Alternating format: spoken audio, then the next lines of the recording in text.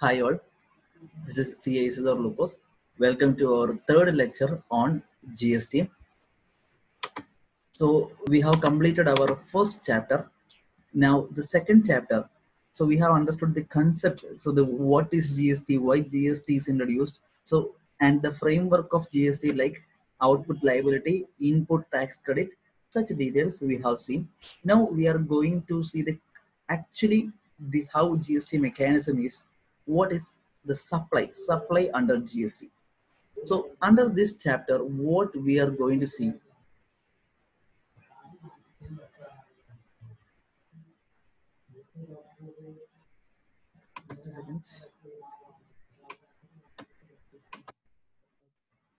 So supply under GST. So in this chapter, what we are actually going to learn, understand and analyze the taxable event under GST supply, its meaning and scope. So when should a GST be collected? So GST should be collected at the time of supply. So what is supply and what is its importance in GST? identify the transactions that will amount, amount to supply even without consideration. So while seeing what is supply, we will see the parameters when supply is actually happening and we will see the transactions. So what transactions do constitute supply?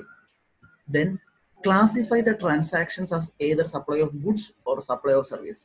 So some, some supply happens. For example, a, I transferred a goods to you. So it is so this is transfer. Whether transfer is a supply? Yes, we will see that.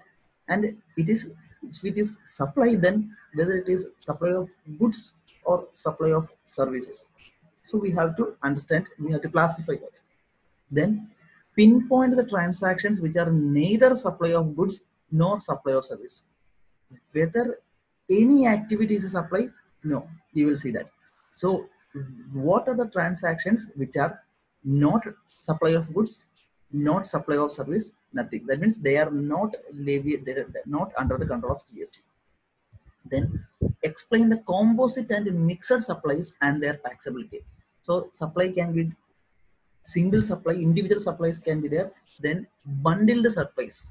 So bundling means two or more services or two or more supplies together. So whether that is composite or mixed supply and what why we have to distinguish a supply as composite and mixed supply these concepts we are learning in this chapter okay so let's go ahead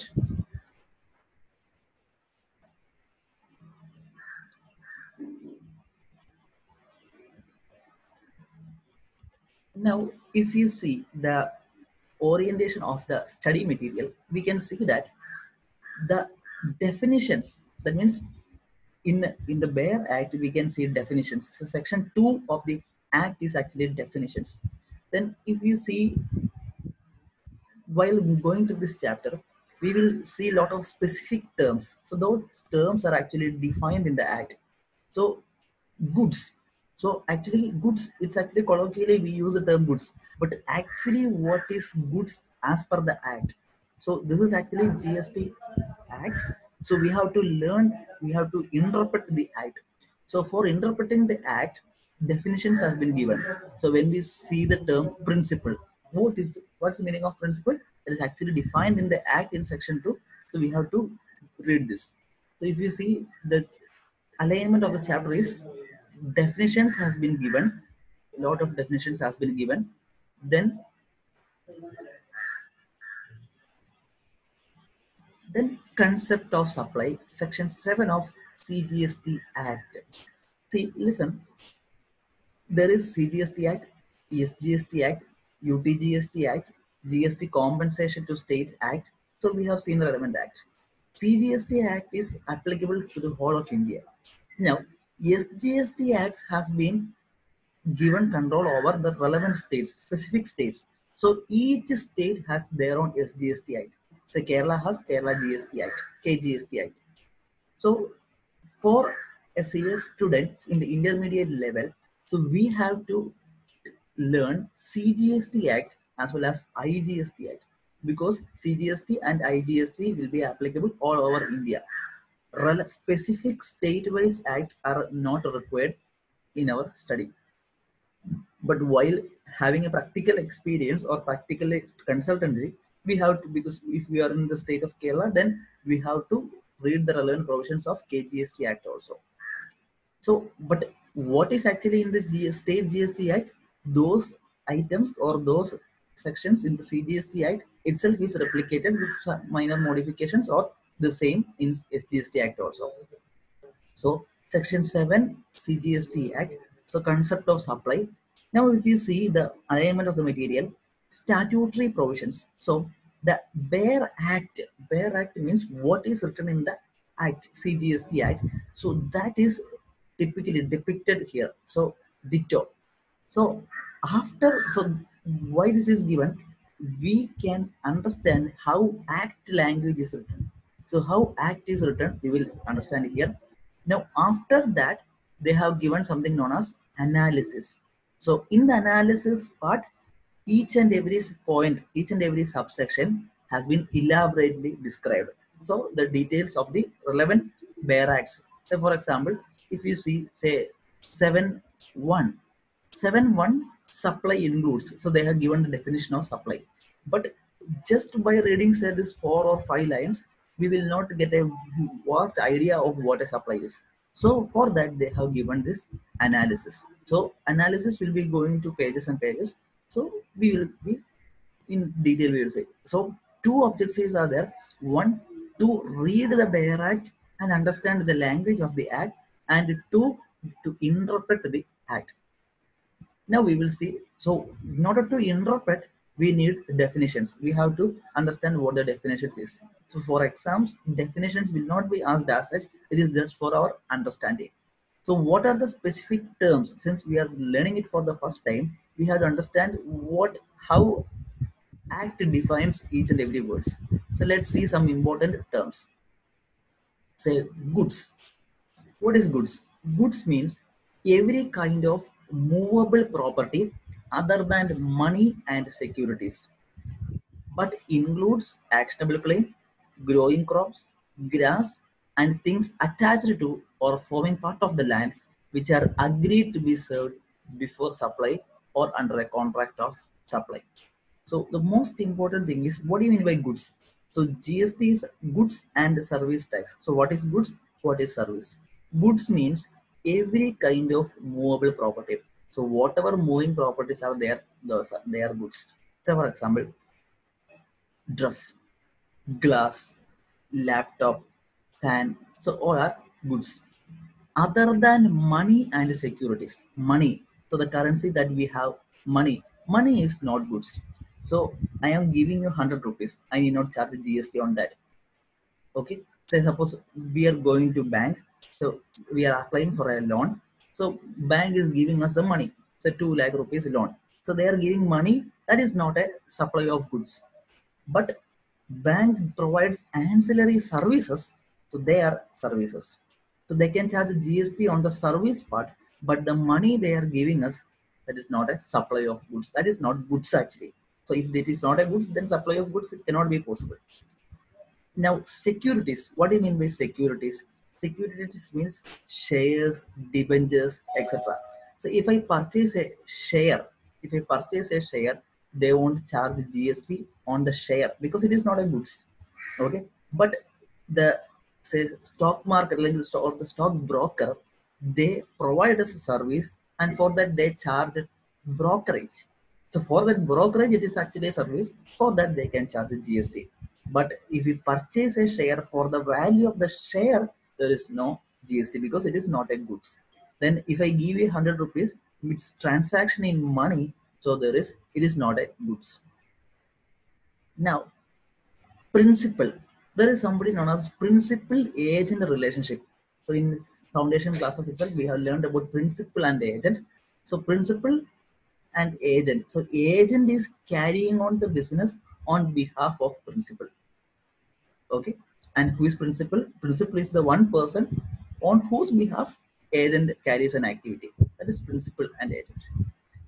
Now, competent authority. Competent authority means authority notified by the government. So competent authority means department of any authority under the government. So they are actually competent authority. Most important one is family. One of the most important definition is family. So what do you mean by family? Family means spouse, children. Okay, spouse, children. Now, so spouse, children do not include my our brother, sister, or parents and all. Only spouse and children. Now, second point, parents, grandparents, brothers, and sisters of the person, if they are wholly or mainly dependent on the said person. Only dependent parents, grandparents, brothers, sisters will be my family. Okay, so that's very interesting definition. So, for example, I and my brother. So, my brother is actually he is a working person. He is working abroad. So, since he is working abroad, he is not dependent upon me. Since he is a he has job, he is not dependent upon me. So, he is not my family. But my spouse or my children, even if they are dependent or they are working, but still they are family. So for a person, his child, his children is his family. But for the children, the father or the parents is not family. They are family only if they are dependent. Okay. Now, business. So business, we have heard the term colloquially. What do you mean by business? Business includes any trade, commerce, manufacture, profession, vocation, adventure, wager, or any other activity. Any trade, commerce, manufacturing, profession, vocation, everything, anything is business. Any activity or transaction in connection with or ancillary to the above. So any activity or any transaction which are ancillary to trade, commerce, manufacture, profession, vocation is also business any activity, whether or not there is volume, frequency, continuity, or regularity of such transaction. So there need not be say, for example, I, I need not do it for the full full year. Even so, irrespective of the volume or the frequency, the number of times I did, but still any trade commerce can be business. So it need not be a continuous one. I need not do it in for five times or six times. Even one time activity can also constitute business. Supply or acquisition of goods, including capital assets and services, in connection with commencement or closure of business. Acquisition of goods, including capital assets, purchase of capital asset can be also business. Then, services in connection with commencement or closure of business. Any services or any activities in relation to business which can be related to commencement of the business or which can be related to closure of the business that is also business then provision by a club association society or any such body of the facilities or benefits to its members services provided by club to its members. It's still business. Admission for a consideration of the persons to any premises. So entrance fees is charged. From water theme park. Admission to the water theme park is provided. So that's actually business. Now, services supplied by person as a holder of an office which has been accepted by him in the course or furtherance of his trade, profession, or vocation. So he, as a holder of the office, say as a chairman, he is providing a service. It's actually business. Activities of a race club, including by way of totalizer or license to bookmaker, or activities of a licensed bookmaker in such club. So race clubs, so the persons in charge of the race club, the services they are providing, that's also business. Then any activity or transaction undertaken by the central government, state government, or local authority in which they are engaged as public authorities. So activities undertaken by government as public authorities, that is actually business. That is also business. So most important thing in the in between the business definition is even if there is no volume, frequency, continuity, or regularity, but still it can be business. So one-time activity can also constitute business. So that is actually causing some ambiguity in the GST Act, but some clarifications are being given. Next, government, local pancha, local authority, then consideration. So another important thing is consideration. So what do you mean by consideration? Consideration means I am providing a service or I am giving you a goods. I am giving you goods. In return, you will pay me. Okay, you will pay me. You will give me 100 rupees or 500 rupees. so what is that that is actually consideration whether so i am the seller you are the buyer. Whether consideration should be given by the buyer itself or can it be given by any third party? Yes. So what do you mean by consideration? Consideration includes consideration includes any payment made or to be made whether in money or otherwise. So it need not be in money itself. It can be in the form of non-monetary benefit also. Okay? So for example i am providing some goods. In return you are providing me some service so it has a money value. So consideration need not be in the form of money itself. In response to or for the inducement of the supply of goods or services or both whether by the recipient or by any other person but shall not include any subsidy given by central government or state government. So consideration need not be given to the supplier by the buyer itself. It can be from any third party also but consideration do not include subsidies given by central government and state government. So subsidies given by central government and state governments they are not consideration. Now the monetary value of any act or forbearance in respect of or in response to or the inducement of supply of goods. So need not be in the form of money itself. It can be monetary value of any services. Okay any services or if they not doing. So for example i am providing you i am giving you some goods. In return what i ask from you is not money. What i ask from you is not to do activity. I asked you not to do some activity. So for example you were planning to engage in some business. I told you please don't engage in that activity. And i am giving you in return i am giving some goods. So it is non-performance of an activity. That is also actually a consideration. It can be money or it can be non-monetary also. However deposit given in respect of the supply of goods shall not be considered as payment made unless the supplier applies such a deposit as consideration for the said supply. That's actually a very interesting definition. And it can be it, it is used by our uh, mobile telecom operator Jio so for example Jio phones has been introduced. So in Jio phones actually say i think 1500 rupees. 1500 rupees as should be given as deposit. And it's actually a refundable deposit. And we can use the phone for three years. And after three years if we give back the phone in good condition they will give back us the deposit. So deposit which is a refundable deposit they have collected. Say for example uh, a rent rental agreement has been is introduced rental agreement and a refundable deposit say 1 lakh rupees is deposit is collected by the owner of the building. And when i am vacating the building the owner will give back the deposit back. So in such cases that deposit the deposit is not a consideration because it is refundable. So only when this refund when it becomes non-refundable only when this deposit becomes non-refundable or the supplier applies it the supplier applies such deposit as consideration. Only at that point of time it will be treated as consideration. Or else for deposit it is not a consideration and gst is not applicable. Next actionable claim. What do you mean by actionable claims? Actionable claim means claim to any debt other than a debt secured by mortgage of immovable property or by hypothecation or pledge or movable property or to any beneficial interest in movable property not in his possession. So the definition it comes to we are not getting any clarity on definition but actually what is actionable claims? Actionable claim means a claim it's actually a claim. So we have the right. Say for example a fixed deposit.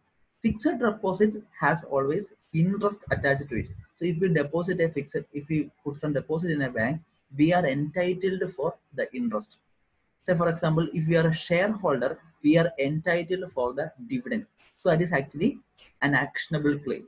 Okay? So fd receipts share certificate. So that is actually actionable claims. Now manufacture we know the meaning of manufacture processing of raw materials then money. Money means legal tender money itself. Then taxable supply. Taxable supply means a supply which is taxable. Okay? So there can be exempted supplies there can be taxable supply also then taxable territory. Territory means the area in which it is taxable. Now, services. We have seen the definition of goods, but still now we have not seen the definition of supply. We have seen what is goods. Goods means movable property other than money and securities. Now, what is services? Services is anything other than goods, money, and securities. So, goods other than goods, money, and securities, whatever it is service. So, money and securities are neither goods nor services. Now, supplier, supplier recipient, we have discussed this term earlier. Supplier means a person who is supplying goods. Recipient who is receiving the goods. So, supplier means person supplying the said goods or services and include an agent. An agent is also a supplier. Who is a recipient? Recipient means where the consideration is payable, the person who is liable to pay the consideration. So supplier is providing some services or goods and the other person is liable to pay the consideration, pay the fees. That means he is the recipient. And suppose there is no consideration, if there is no consideration and I have given you something, so I gave you, so the goods has been delivered to you. So it means you are the recipient. Now, person. So person, what do you mean by person? Person can be individual, HUF, company, partnership firm, LLP, AOP, BOI, any corporation, any body corporate, corporate societies, central government, state government, local authority, societies, trust, artificial judicial person, or every person has everything is included in the definition of person. Now, this is actually the definitions. So, goods we have seen, services we have seen, consideration we have seen, deposit is not a consideration, refundable deposit is not a consideration, we have seen, business, the definition of business we have seen, one time activity will also constitute business, we have seen. Now, we are moving to supply.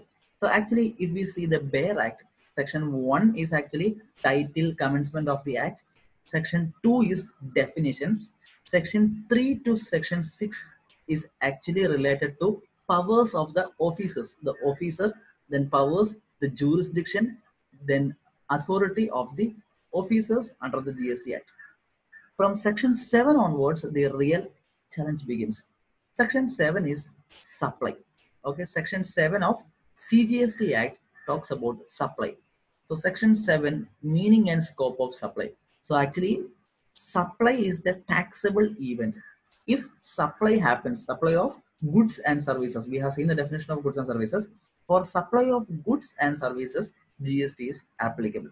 And there can be taxable supply as well as exempted supply.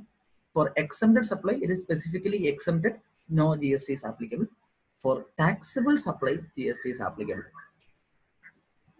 Now section 8 is taxability of composite and mixed supply. So section 7 and section 8 is in this chapter.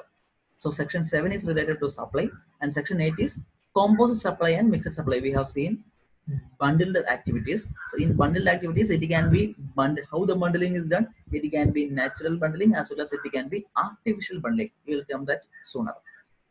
Now there is something known as schedule 1, schedule 2, schedule 3. Very, very important. So this schedule 1, schedule 2, schedule 3 is very important. What is schedule 1, schedule 2, schedule 3? It is in section 7. So schedule 1 is activities treated as supply even if it is made cons without consideration. Schedule 2, activities which are treated as supply of goods nor supply of service. Schedule 3, neither supply of goods nor supply of service. So we will see that we will understand it only when we understand section 7. So let's go to section 7 what does section 7 says meaning and scope of supply that is section 7 so now we are going to read the language of the act the act's language. Supply includes. So if there is supply the taxable event is supply. If there is supply we have to charge. If it is a taxable supply we have to charge gst and supply includes. So it is not an exhaustive definition. It's an inclusive definition. So many other things can come. They have given a demonstration of possible items that can come in the meaning of definition under supply. All forms of supply of goods or services or both such as sale. So one thing is sale. then transfer. Okay say sale of goods transfer of right. Say i am giving i am transferring the right to use a machinery. So it's actually supply. I am selling you my shirt. It is actually sale. It is actually supply. Then barter exchange. What do you mean barter and exchange? Say for example i am a doctor. I am providing you hospital services and in return you are giving me for example you are giving me a car. Okay? So the consideration need not be monetary. The consideration can be non-monetary also. That's actually barter. Exchange one thing for another. Then exchange. What do you mean by exchange so for example i purchased a new mobile phone and i have to pay money. Say for example the new mobile phone cost 20000 and in not consideration what i pay is i pay 15000 as cash and balance 5000 i exchange it for my old mobile phone. So say in amazon or flipkart we exchange our old phone and we purchase our new phone. So it's actually exchange. So old item one item plus some money is given in order to purchase new product. That is exchange. Then license license to operate license to use. Then rental. Say i am let, letting out my building for rent. Then leasing or disposal. I am selling my item. I am selling off. Made or agreed to be made for a consideration. So very important is so supply means it can be sale or it can be transfer or barter or exchange license rental anything but most important thing one it should be for consideration. There should be consideration. If i am giving something for free if i am giving you something for free then no gst is applicable.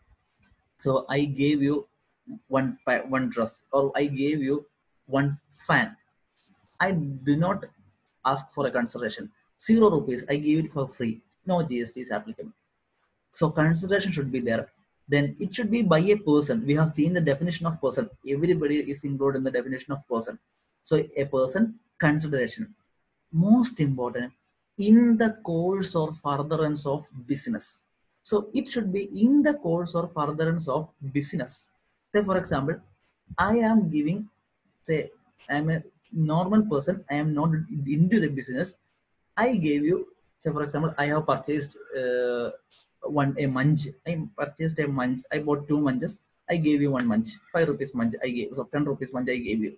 So it is not in the course of business. So i need not it is not a funds for consideration. Okay the, i bought a munch. I gave you a munch. You gave me 10 rupees.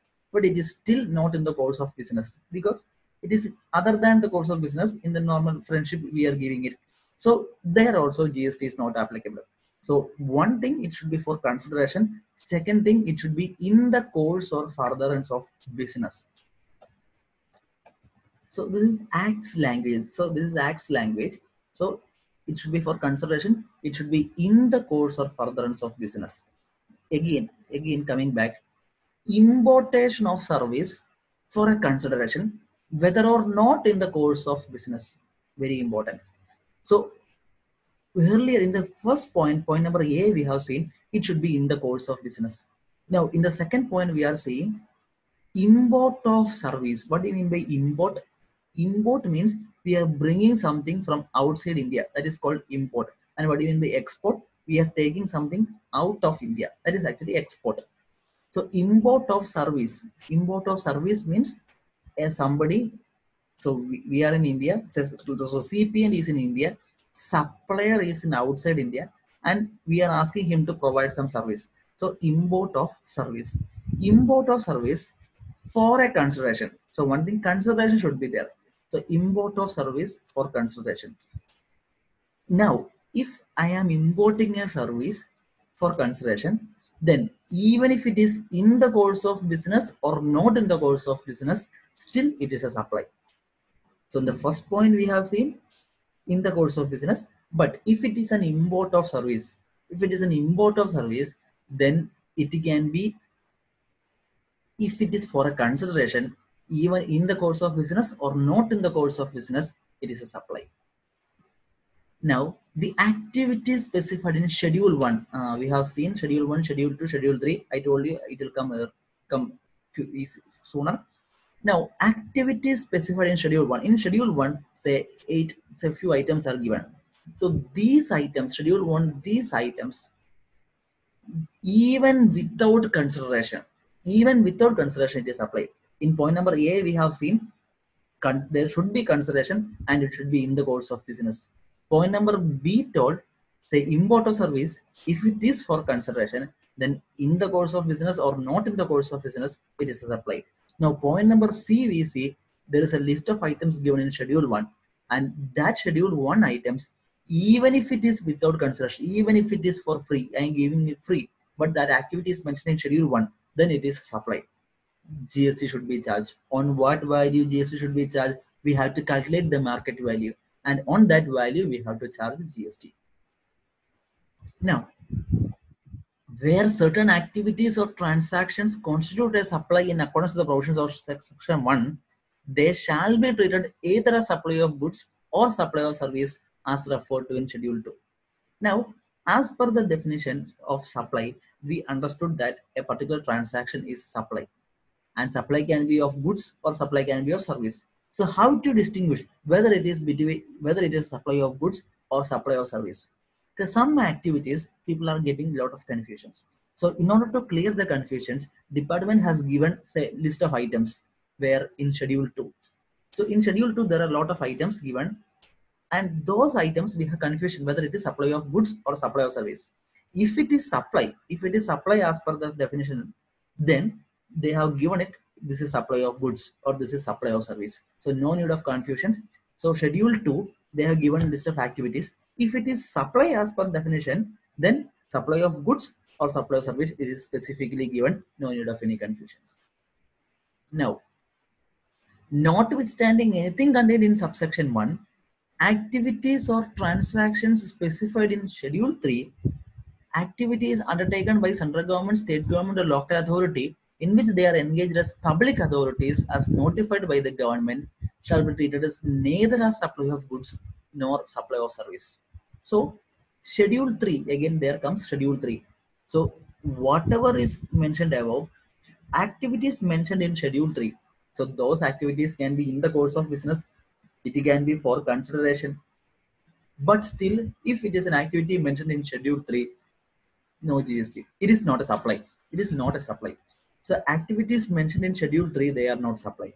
Then government has the right, central government or state government in which they are engaged as public authority, they have the right to publish transactions as neither supply of goods nor supply of service. So government in the public interest, they can notify few items and they can notify it which is and it is treated as neither supply of goods nor supply of service. So even if it is without, even if it is for consideration and in the course of business, still schedule three items and notified items, they are neither supply of goods nor supply of service. Now, subject to subsections 1, 1A and 2, government on the recommendation of the council specify by notification the transactions that are treated as supply of goods and not a supply of service or supply of service and not a supply of goods. So government can notify. So the department, government can notify an item. So as from from this date onwards, this particular transaction, it is supply of service and not supply of goods. Or this particular sub transaction, it is supply of service and not supply of goods. The government has the right to publish an item by way of notification. So in order to clear the ambiguity, it is given that the government has the power. So schedule 1, schedule 2, schedule 3 we have seen. Schedule 1 says about transactions which are supply even if it is there is no consideration. So ideally definition says it should be for consideration, it should be in the course of business. But even if it is without consideration, schedule 1 says few transactions are supply. Schedule 2 says if it is supply, then no need of confusions, supply of goods or supply of service is specifically given. What is schedule 3? whatever says if it is even though it is for consideration or in the course of business if the activity is listed in schedule 3 that means it is neither supply of goods nor supply of service import of service import of service if it is for consideration then if it is even in the course of business or not in the course of business it is supply so this is how we interpret the bare act this is how because we have just i have just read the bare act and interpret you now the detailed analysis is given in the coming pages. Now, and they have given schedule one. Schedule one, one, two, three, four. Four items are there in schedule one. What is schedule one? Schedule one is transactions which are treated as supply even if it is without considerations. So total four items are there. Now we will see the analysis and then we will come back to schedule one. So what there are a lot of examples also given in this analysis. So we have seen supply should be of goods or service. Supply of anything other than goods or service like money securities do not attract GST. We have discussed. So money and securities, they are neither supply of goods nor they are not goods, they are not services. Now, supply should be for consideration, supply should be in the course or furtherance of business. Two conditions we have already seen, supply should be for consideration and it should be in the course or furtherance of business. Now,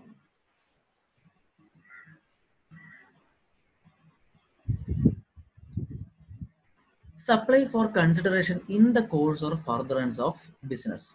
Anything supplied other than goods and services outside the scope of supply, we have seen.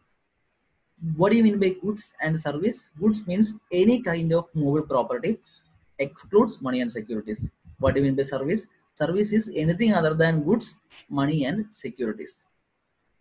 Includes actionable claim, growing crops, grass, includes use of money. There is something known as star mark is given. So I have already given you an example. So for example, you are going to a exchange. So you have some INR and you are exchanging INR and you are purchasing dirhams. And for the conversion of money, they will be charging you a small amount. Okay, so that is actually a service. So just exchange of giving money, it is not a supply, but their conversion of money for which they are asking for a separate consideration. That is actually supply of service. Next, supply includes, we have seen the definition of supply includes sale, barter, transfer, exchange, rental, license, lease, disposal, etc. for consideration in the course of business. Now, barter. Doctor is providing medical consultancy and barber cuts doctor's hair. So we know this is a barter. Exchange. A new car worth 5 lakh is purchased for exchange of old car along with monetary consideration of 4 lakh. So I am buying a new car. In exchange, I am giving old car plus 4 lakh rupees. Now license, lease, rental, disposal, etc. Now consideration we have seen the definition consideration also. Now there is a notification given by the government. Artwork sent by artist to gallery for exhibition is not a supply as no consideration flow from the gallery to the artist. So for example, a painting exhibition is being conducted. So I am an artist, I drew five pictures and I gave it to the authority for exhibition. So while giving it for exhibition, I am not getting any money. Only if the painting is sold from the exhibition, I am getting money. So transaction by which I am transferring my paintings to the exhibition, it is not a supply because without cons no consideration, it can be in the course of business, but it is without consideration. So it is not a supply. But when it becomes a supply from the exhibition, if somebody liked the picture and purchased it, then they gave the money, then they gave, gave consideration, then gave, they give consideration. At that point, it becomes a supply. So consideration, we have already seen consideration, it can be in the form of money or it can be monetary, non-monetary value also. Deposit is not a consideration we have seen. Only if it, it is only consideration, only when the supplier applies such a deposit as consideration. And consideration excludes subsidy given by central government and state government.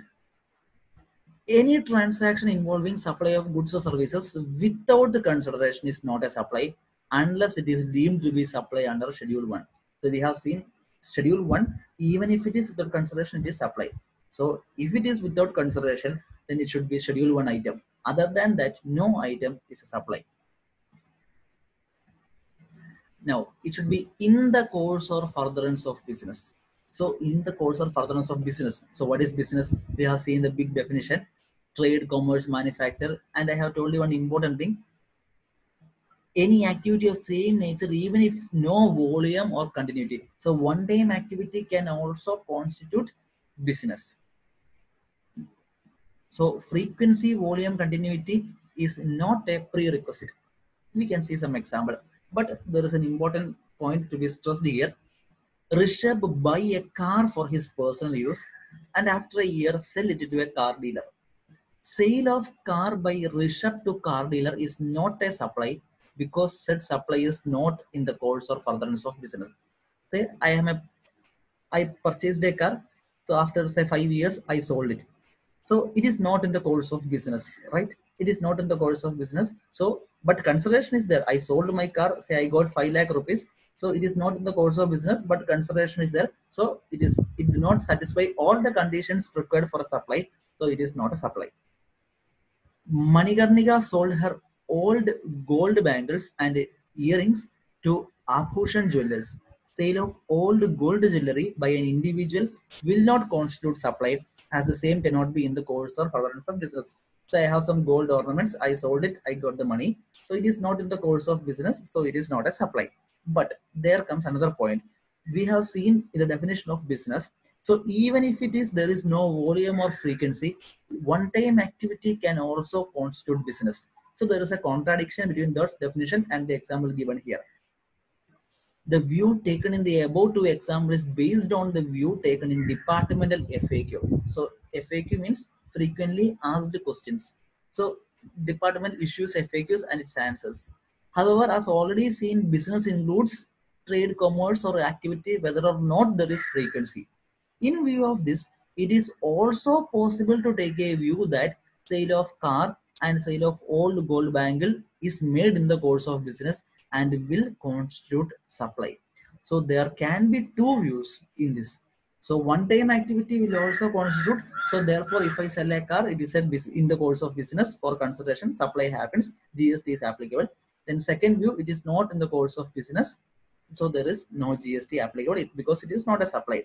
So I go with this because if in the FAQ given, the department has specifically said that they are not in the course of business and it is not a supply. So we go with that. So even there is a definition, there is a point mentioned in the business that one-time activity will constitute business, but we go by this view. Now we can see lot other examples are given for supply. Say for example, a resident welfare association provides service of depositing electricity bills of the residents in lieu of some nominal charges. So welfare association, residents association, they pay the current with electricity bills and they, for paying the electricity bills, they ask for a commission. So that is actually in the course of business, that is supply. Now services by way of admission to circus, cinema hall, amusement parks. So they are actually supply. There is one exception to course or furtherance of business that is import of service. So we have seen import of service if it is for consideration, then in the course of business or not in the course of business, not necessary, it is supply.